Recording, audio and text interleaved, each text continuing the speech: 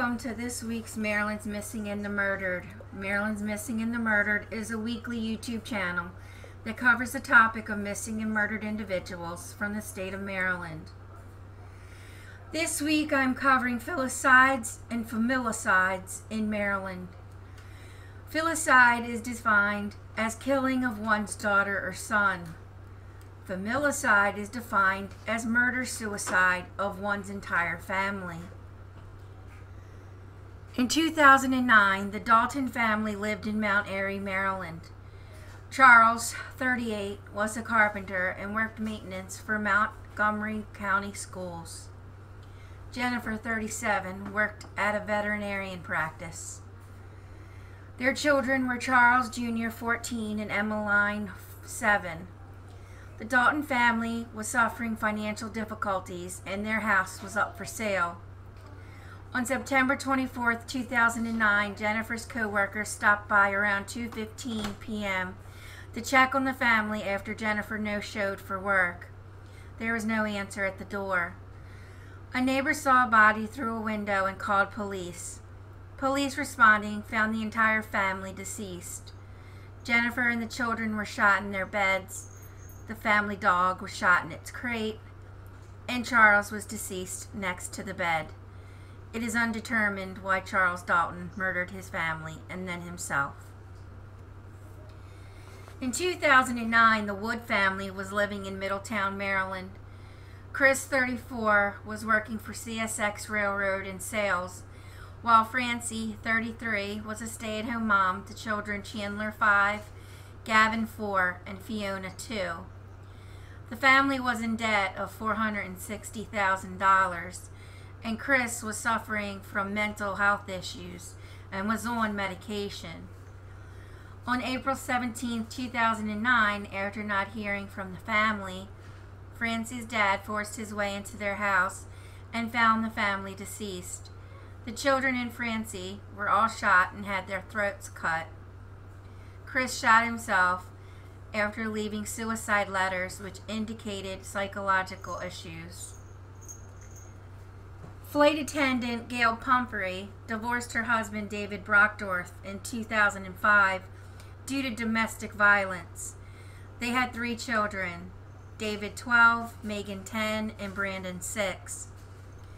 Gail was living in Woodbine, Maryland with the children, and during the Thanksgiving holiday in 2007, she was to meet her ex David to hand off the children to him for the rest of the holiday. They were to meet in Unity Park in Unity, Maryland. On November 23, 2007, police stopped to investigate two cars that were stopped but running in the park. Police discovered Gail, David Jr., Megan, and Brandon deceased from gunshot wounds. Nearby in the park, David Sr. was found deceased from a self-inflicted gunshot. Immigrants from El Salvador, 25-year-old Daisy Benitez and 28-year-old Pedro Rodriguez, were parents to Elsa 9, Vanessa 4, Angel 3, and Karina 1. They were living in Frederick, Maryland in 2007. After Pedro lost his job in March 2007, Daisy did not show up for work. After school noticed that Elsa was absent for days, School social workers went to their house on March 26, 2007. The social worker found Pedro Rodriguez hanging from the second floor banister. The children were located in the house, deceased as well. Elsa, Vanessa, and Karina were suffocated, while Angel suffered blunt force trauma to the head. Daisy Benitez, the mom, was missing. Investigators located dried mud on the brake pad to Pedro's car and dried mud on a pickaxe. On February 29, 2008, Daisy Benitez was found in a shallow grave along the highway near Emmitsburg, Maryland. Mud at the grave site matched to the mud on the brake pad and pickaxe.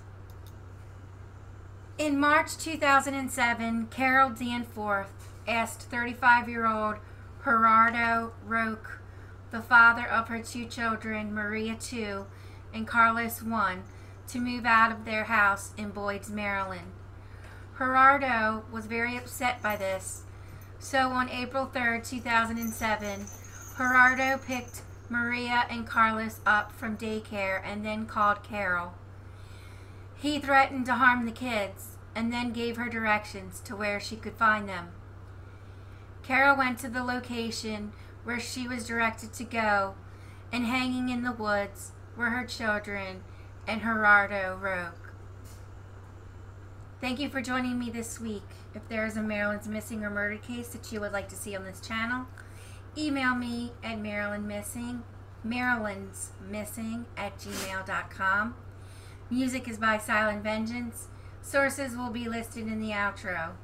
Please like and subscribe. Click the bell so you will be notified when the next cases are released. I will see you again next week. Be kind to one another. You never know what will happen tomorrow.